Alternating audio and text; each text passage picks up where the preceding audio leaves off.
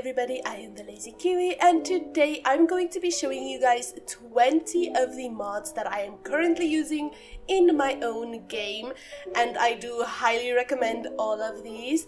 Starting off in CAS with the first mod is of course going to be the more columns mod. This is especially especially like an essential if you have a ton of custom content because it could take hours and I mean hours to search through everything when you only have two columns but this way you can see a lot more and find the things that you want a lot easier as well. Now I'm gonna go through these pretty quickly because there are quite a few of them and I don't want to be here for days but the next mod is going to be the Sparrow Tidy CAS mod which this helps a ton with organization and especially with layering.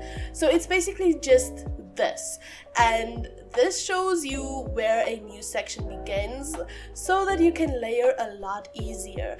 Therefore, you never have to worry about clicking something and removing the previous thing that you added on. And honestly, it has helped me out so much in the past. And yeah, I just highly recommend this one, especially for your skin details. And last for CAS, but definitely not least, and I have showed this before, but I absolutely love this one, is basically just elf ears. Now you can't really see it with her hair, let me just quickly change her hair. You basically just go into detail edit mode and then you can just move the ears and make your own little elf ears and I love it. You can make them any size you could possibly think of.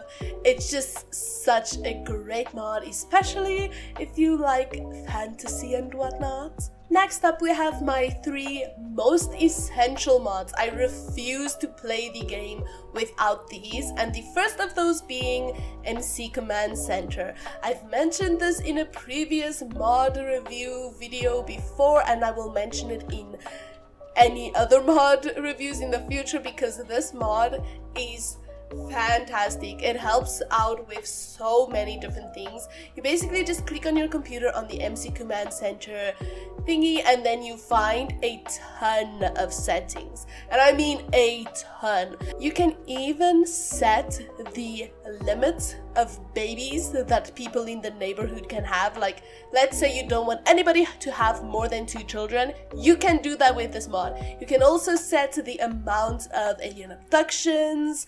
And then if we go to Sims, you also get a really lovely little tab again under MC Command Center where you can do a ton of other things, including pregnancy settings like making your sim pregnant, choosing the amount of babies, seeing the amount of babies.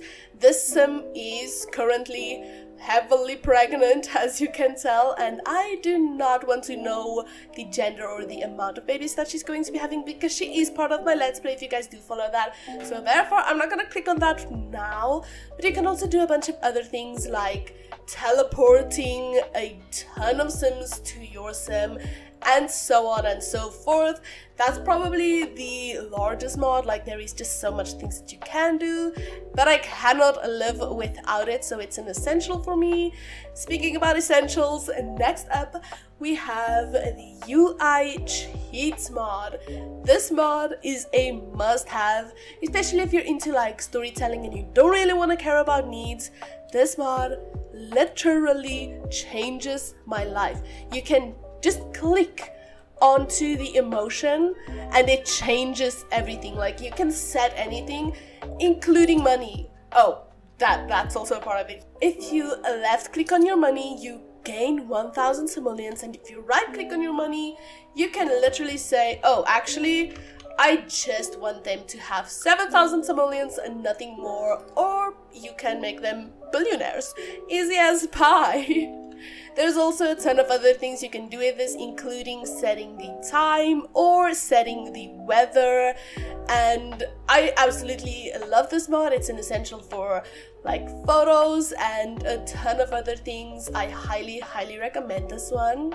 And my last must have, like cannot live without mod, is the Better Build Buy mod. This mod changed my life. You can literally change the color of the lights in build buy mode. Like, I it's unbelievable. It's life changing. But this mod adds so much more than just changing the color of, of, your lights. Basically, you have organized the debug, move objects can be on at all times, you don't have to add in the cheat, and you can ignore unlocks with this mod like immediately. You also get organized debug, which does mean that going to any part of the game, you find debug items just you know, organized. So here you can find trees that you could never find here before, including things like cow plants and even the mother. You can even buy her. Moving on to some other mods, one of my favorites at the moment is going to be the ISO Love Photos camera. So this little camera right over here is a game changer when it comes to taking photos in the game.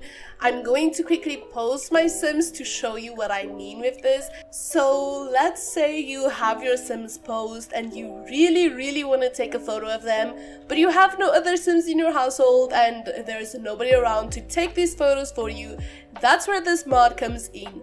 This mod changed my life. You literally click on it and you say take photo and then it immediately just takes you into the camera mode. You take the photos that you want and it's as simple as pie like this is such a life-changing mod. I will love this mod for the rest of my freaking life and honestly I do think that this is one of my essentials at this point because I really just do love this mod so much. And then going hand in hand with this mod, I have another mod that again also really really changes up the way that photos work in this game. The next mod is called Photographic Memory and basically you just buy this little flash drive over here and then this flash drive when you click on it and you say photo studio create photo gifts what you can do and this is incredible is you can make your own photos and just photos that you took and make them into other prints like a calendar or a little photo print. So let's say we go for this one. It uses the photos that are in your inventory. So let us actually take one of these that I just took. Now it does cost 25 simoleons every time, but I do think that's more realistic. And then if we look over here, we can see a bunch of photos that I've already did this with and you can find it in your inventory and then you can just place it anywhere that you would like and I am actually obsessed with this because just look at that. Look at how beautiful this looks. I love it. I absolutely love this mod. Next up we have meaningful stories and basically this mod just changes the way that emotions work completely and by that I mean let's say you're some gets really depressed, somebody dies or something, they actually have to overcome it. Like it doesn't just go away all of a sudden. And it's just such a nice mod to have. I feel like my game has been much more realistic with the emotions since I've added this and honestly I do believe this is also a must have because it just really changes the emotions. Going hand in hand with the previous mod, we do have the Have Some Personality Please mod. And this one again also changes the way that the emotions and things work. So you have a more autonomy, no idle chat, risky woohoo, try for baby chances, ghost risky woohoo, and a ton of other things. There's just a ton of things that this mod adds that just makes the game so much more realistic and I genuinely love that and with the meaningful stories, all of these things that it does add will just feel so much more realistic and I genuinely highly recommend this mod. The next one isn't that big of a mod but I genuinely love this. It's no restaurant bill when being invited and I feel like that's pretty realistic seeing as why should you always pay when somebody else invites your sim out? It doesn't make any sense and therefore this mod is a must have. The next one is again a pretty small mod but it just adds a little bit more to children's lives. So kids can ask what's for dinner, talk about favorite cartoons, talk to classmates on the computer and honestly a few other things and I just feel like it adds so much more to the kids and it's not a lot but I genuinely feel like it makes a difference and therefore I highly recommend this one as well. The next mod is again pretty simple and I honestly really, really love this mod. You basically just take your Sims to bed, and what's going to happen next is the most adorable little thing that I've ever seen in my entire life. They cuddle. They actually cuddle with each other. Isn't that just the cutest little thing you've ever seen? This mod is called the Bed Cuddle mod, and I love it so much. I really, really just feel like this little interaction adds so much more to the game and I highly recommend this one. The next mod is the hide and squeak mod. This mod adds smaller rodent cages and honestly, if you look at the ginormous size of the rodent cages, like how they usually are, it's a lot. It's really so much and just take a look at it. Just take a look at the size difference between these two. Like, it's not even comparable. Like, it's insane. And honestly, like, in real life, I would highly recommend a much larger cage for rodents and stuff like that, but it's just The Sims, and I don't want that large of a cage. Like, honestly, look at you can place it anywhere, literally anywhere. On to some of my favorite mods, we have the wonderful Whims mod. This mod is insane. It adds attractiveness to your game.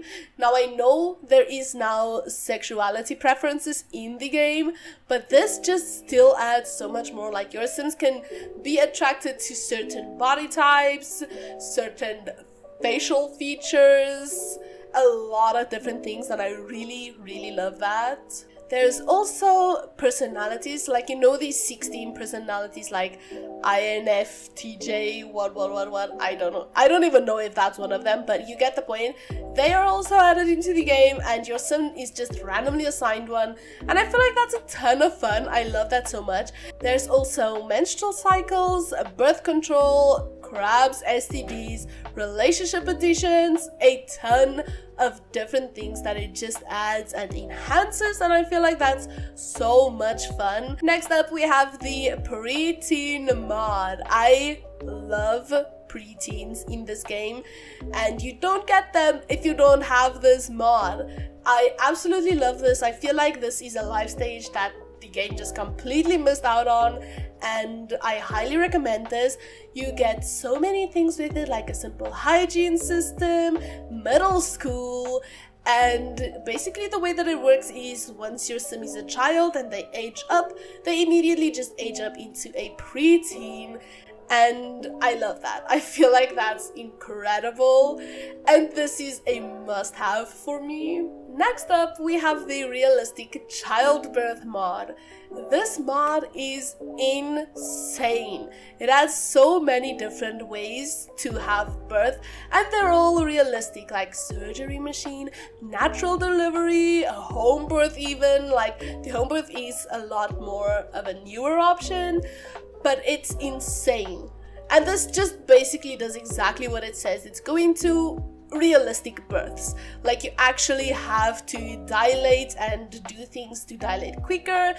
And I just love it. This one is just so realistic. However, I do have to say it takes a very long time for your Sims to give birth. So if you do not like that, I might not recommend this. However, there are other options like the C-section, that is a lot faster and it's still just as beautiful, so I do still recommend this one. It's just such a nice mod. Next up we have the Relationship and Pregnancy Overhaul, aka Woohoo Wellness as some of us may know it. This one again hand in hand with the realistic childbirth one because this just adds so much more to pregnancy. And I absolutely do love it. Like it adds a ton of modules like module 1 pregnancy preferences and interactions like do your sim actually want children or not? Or are they neutral? Or you know like things like that. Next up is fertility pregnancy risk and protection like there's actually a ton of things that go into it like you can actually sterilize your sims if you were wanting to do that. You get STDs, paternity testing if you may, wonder who the father of the child is, teen pregnancy even, unwanted pregnancy acceptance, separation options. This just adds so many things and I absolutely love this mod. Highly, highly recommend this. Like, do not walk to get this. Run. The next mod is a game changer for me especially and anybody who probably plays legacy challenges and challenges with a lot of generations and a lot of family members. This mod changed my life. I've been searching for something like this for such a long time. This mod is called It's All Gravy and basically what it does is it just adds these beautiful little urns and gravestones and whatnot, which are also customizable, like you can change the colors. And some of them are pretty beautiful, like look at these. I love these so much, but it just adds a ton of them into the game. And basically what it does is, let us say a sum of yours has died in the family and you have no idea where their grave is, you basically just click on this and you say in memory of, and it will show Sims that you know that have died. And these are family members from the past which have passed away. And let's say I actually do not know where Is so I will just add Bean to this and there we go. Rest in peace bean hearts. And then the last mod but certainly not least this is also by Ravasheen I love this little mod. So if you guys know the little kit that came with the s'mores. I cannot remember for the life of me which one that was. It basically added these beautiful s'mores into the game that you cannot use. So, Ravasheen has made a little something that actually makes the s'mores usable. So you can either get this little sign or you can get these s'mores themselves. Let me just find them. There we go, it's either this one or it's the s'more tray, but basically you can now actually go and make s'mores. So let's say I want a party size of these freaking s'mores. You can also do it over here, grab and go or roast marshmallows. So it's actually very very simple, your sim will just go up to the tray and make some s'mores. Easy as pie. But yeah, that is all of the mods that I have for you guys for today. So thank you all so, so much for watching. If you guys did enjoy this video, please do consider liking and subscribing to my channel. And I will definitely see you all in another video. Goodbye, everybody!